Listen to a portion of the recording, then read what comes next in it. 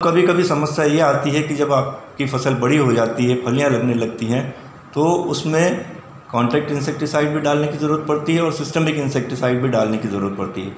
यानी कि इल्लियाँ भी लगी रहती हैं गर्डल बीटल भी लगा रहता है, सफ़ेद मक्खी है, तना मक्खी, इनका भी प्रकोप होने लगता है। तो इन सब के लिए अलग अलग इंसेक्टिसाइड डालने की ज़रूरत नहीं है। आजकल विशेष रूप से बाज़ार में और मिश्रण वाले इंसेक्टिसाइड उपलब्ध हैं, जिसमें कि एक कंपोनेंट होता है सिस्टमिक इंसेक्टिसाइड का और दूसरा कंपोनेंट होता है कॉन्ट्रैक्ट इंसेक्टिसाइड का। इसके उदाहरण के तौर पर मैं आपको बताना चाहूँगा बीटा साइफ्लोथ्रिन और इमेडाक्लोप्रिड का एक कॉम्बिनेशन है, जिसमें कि बीटा साइफ्लोथ्रिन कॉन्ट्रैक्ट इंसेक्टिसाइड है और इमिडाक्लोप्रिड सिस्टमिक इंसेक्टिसाइड है।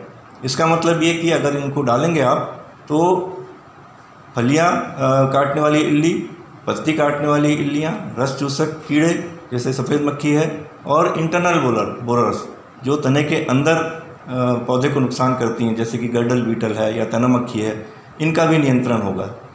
इसी ग्रुप में एक दूसरा इंसेक्टिसाइड है, जिसमें कि लेमडा साइलोथिन कॉन्ट्रैक्ट है और थायोमेथोक्सम सिस्टमिक इंसेक्टिसाइड है। ये भी करीब करीब सभी प्रकार के सोयाबीन में लगने वाले कीड़ों के लिए असरकारक होते हैं।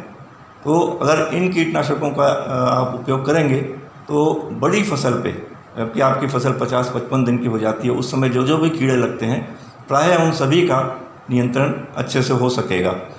इसके अलावा एक और चीज़ मैं बताना चाहूँगा, जो कि ख़ास तंबाकू की इल्ली और चने की इल्ली के लिए है, जो कि इमामक्टिन बेंजोइड कहलाता है। इसका भी अगर आप छिड़काव करेंगे तो ये दो इल्लियाँ, जो अगर किसी दूसरे इंसेक्टिसाइड से नहीं मर रही हैं तो इमामक्टिन बेंजोइड की सहायता से भी आप इनको मार सकते हैं। इसको साढ़े आठ सौ साढ़े चार सौ मिलीलीटर प्रति हेक्टेयर की दर से डालना है सोयाबीन में। इसके अलावा जितनी भी इल्लियाँ होती हैं, उनको पक्षी खाते हैं। तो पक्षियों के बैठने के लिए टी के शेप के जो बर्ड पर्च होते हैं, वो लगाएँ खेत में, या उनके स्थान पे सूखी झाड़ियाँ भी लगा देंगे। और ये ध्यान रखें कि ये झाड़ियाँ या टी बर्ड पर्चेस जो हैं वो फ़सल से बहुत ज़्यादा ऊँचे ना हों। डेढ़ से दो फीट की ऊंचाई पर रहें ताकि चिड़िया उन पर आके बैठ सकें और आसानी से इल्लियों को पहचान कर उन्हें खा सकें।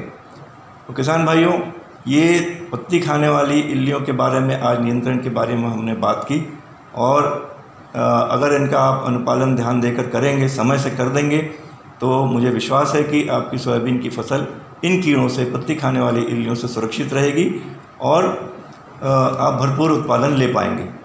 धन्यवाद।